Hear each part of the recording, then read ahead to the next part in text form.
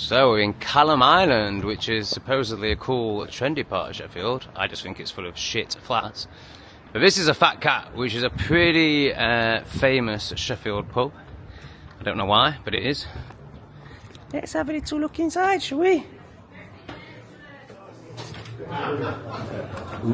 So I used to come in here quite a lot. Oh, wrong place. Let's go this way. Let's go to the tap room.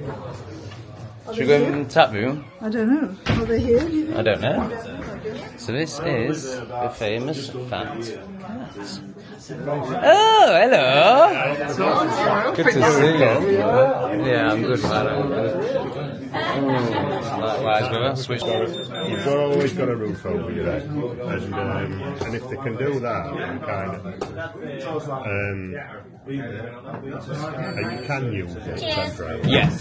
No, I'm very grateful. If it wasn't, if it weren't for my parents, I'd be fucked. Yeah, but it's not a perfect thing. and nothing. You waiting? Uh, yes, please. Can I get our So, Mark's um, bought me a pint. Barn? Yeah. Now, I did make a promise to God that I was going to be sober for a year, didn't I? But I'm kind of in a bit of a fuck God place right now. And also, I've decided I'm giving up gay sex, which is for God.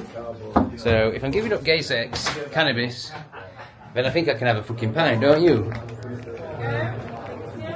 So, I'm here to see Sister Jane and her partner Mark. Auntie Sue's here, Sister Jane. Hi, Sister Jane. You alright? So, baking for sobriety. Let's see how it goes. Cheers. Where's the vodka? Can you get any with Mark? so I didn't get nearly as much Kelham Island footage because I love Mark so much and chatting to him is so great. But this is where I lived when I was a drug dealer and I had to escape. So Mr. Wade built that. It was pretty much the first flats to get built down here in Kelham Island. I remember them being about, if I remember that, oh maybe it was 140 grand. They were either 50 grand or 150 grand. My God, I dread to think what we are now. Uh, yeah, Kelham Island has gone boom! So what do you do when you get home at half eight and you've had two pints? So you're a bit too pissed to do any YouTube because I haven't drunk for so I'm a little bit tipsy. Well, he has another fucking beer, don't he? Once he pops, you can't stop. But I am, I'm just like, you know what's surprising me is like, I thought I'd love smoking if I was having a drink, but they're really not satisfying. The idea of having a coffee is just like, nah, I'm not after alcohol. So I might just go to bed. Or I might just drink another five of these. I don't fucking know. We'll see. We'll see how it goes. So it's now the morning after the night before. How do I feel about breaking sobriety? And how drunk did I get? Well, I didn't actually finish that bottle. I passed out on the sofa while editing a video. And I don't really give a fuck about breaking sobriety with alcohol.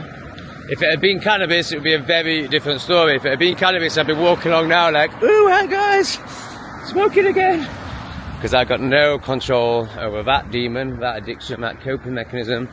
But alcohol isn't really an issue for me. Now, the way I see it is I've basically given up a hell of a lot recently. I've given up cannabis. I've given up well, I didn't give up my life in Thailand. I got deported from my life in Thailand. Uh, I've given up being a businessman. You know, I've, I've been on a real humbling journey. I now pull weeds out of the ground for 15 pounds an hour. And very recently, I've decided I'm giving up gay sex as well. Giving up the notion of gay relationships and giving up the notion of being gay at all.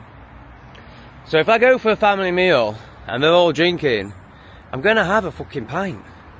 So yeah, I feel absolutely fine with it. Obviously, there's no desire to drink again now. In fact, quite the opposite. I'm a bit like, ugh, I drank last night, and not from a judgment point of view. Just uh, I can feel it in my body. I feel super depressed. Um, yeah, I've just, I've just edited the Bakewell video. You might have seen it by now. Fuck me, I could not be asked with that, and I even said it in the video. But yeah, that guy you briefly saw last night, Mark. Oh my god, I wish I'd, you know, I wish I'd done more recording, but you know, they don't really want to be on camera. But he is just great. So he's my favourite family member, even though he's not really a family member, as in he's not a greater ex, he's not blood. Uh, but he's been dating my sister for, it's got to be more than a decade now. And he's just great. Like, he's not fully conscious, uh, but he gets it. You know, he really does get it. And he, and he can yeah, I mean, he can speak about himself. I don't want to say too much because I don't want to drop him in it with his work or anything like that. Um, but you know, he doesn't fall for any of the woke nonsense, put it that way. And I just feel this like massive love and warmth to him. And yeah, it's just so nice to have someone in my family who actually understands me. And then there's my sister who almost understands me. I really like her. She is a bit annoying. Like, she doesn't appreciate who I am or where I've come from. Like, she doesn't realise that I'm a psychological genius and she tries to argue with me uh, on certain points. And I'm just like, what are you doing? Like, you've worked in an office all your life. Stop it. But, having said that, she is great and she loves me a lot. And I definitely want to spend more time with those two, particularly Mark. but no, I want to spend more time with those two. Um, so yeah, that's really cool. Very naughty! So I've just kicked Margot four times. She's just launched herself at a dog for the first time in ages. What are you doing? She's also started sleeping with me. So all those plebs that are like, oh, the doggy feels at me!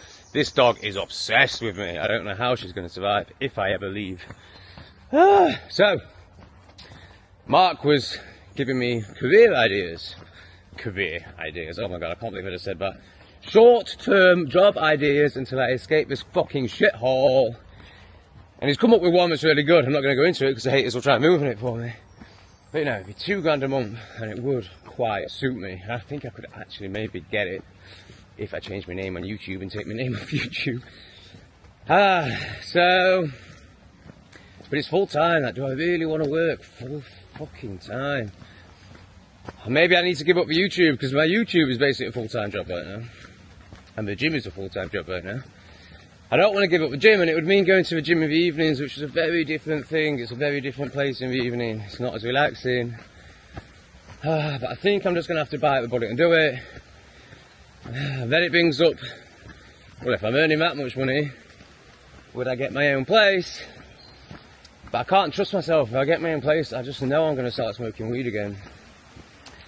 Which I think the main thing right now is for me to just stay away from the weed. Because that's how the devil really gets me. Sure, he gets me with a dick. But I think that one's done. I really think that one's done. Because there was that one fucking incredible twink that I met. But apart from that, and even that, you know, it's so fleeting and so meaningless, really. You know, like, what am I going to do? Keep trawling Grindr, and inevitably, if you're on Grindr, you end up just sucking horrible dicks. Um, in the hope that, you know, one fucking amazing twink will let me in once a year. Like, no, of course I'm fucking. And now I'm over any delusions of a gay relationship ever working. what am I on about? I don't even know what I'm fucking ramming on about. Basically, I want to fucking die. I think is is the upshoot of it. But I can't kill myself. Well, I mean, I just can't do it anyway. But I know that this life is just something you have to get through to fucking get into heaven or some bullshit like that. But um, you know, I still do have some assets that could go kaboom. So it's like, are you really going to top yourself when in a year's time you could be filthy fucking rich and your situation could look very, very different? So no, I'm not. I'm going to keep on living this shit life in this shit country. So Auntie Sue's just left, and she said something really interesting as she left. Other than don't put me on YouTube. Lol. Sorry, Sue. Um, she said that she's seen a big difference in the UK for the first time. So she comes back at least every five years.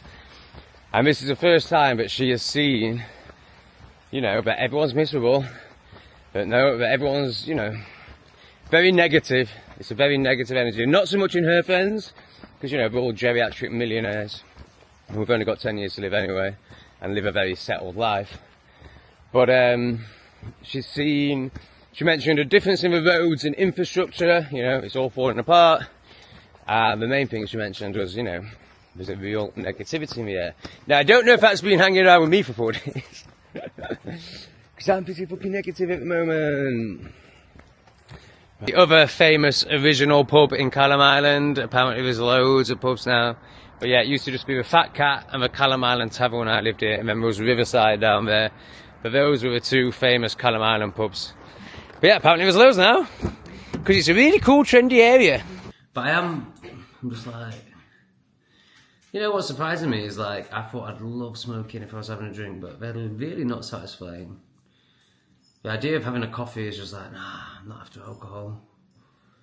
So I might just go to bed. Or I might just drink another five of these. I don't fucking know. We'll see. We'll see how it goes.